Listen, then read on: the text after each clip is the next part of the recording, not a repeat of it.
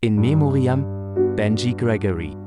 Die Welt der 80er Jahre Sitcoms und die Herzen vieler Fans trauern um Benji Gregory, der am 13. Juni 2024 im Alter von nur 46 Jahren verstorben ist. Gregory war vor allem für seine Rolle als Brian Tanner in der beliebten Serie Alf bekannt, die von 1986 bis 1990 im Fernsehen lief.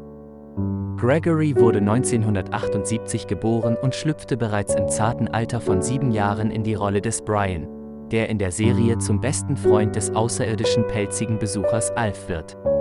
Mit seinem natürlichen Charme und seiner unschuldigen Art eroberte er die Herzen der Zuschauer weltweit und wurde zum Kinderstar.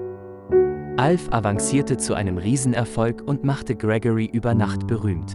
Doch der plötzliche Ruhm und der Druck des Showbusiness hinterließen ihre Spuren.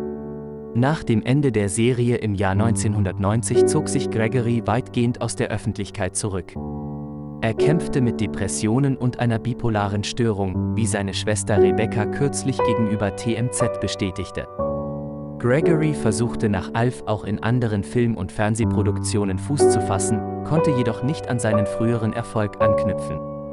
1996 trat er der US-Marine bei, wo er bis 2000 Dienst leistete. In den letzten Jahren lebte Gregory zurückgezogen in Peoria, Arizona. Er litt weiterhin unter seinen psychischen Problemen und die Umstände seines Todes sind noch unklar.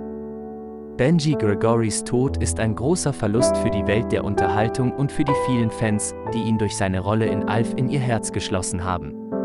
Er wird als liebenswerter und talentierter junger Mann in Erinnerung bleiben, der uns viele schöne Momente mit Alf beschert hat. Ruhe in Frieden. Benji Gregory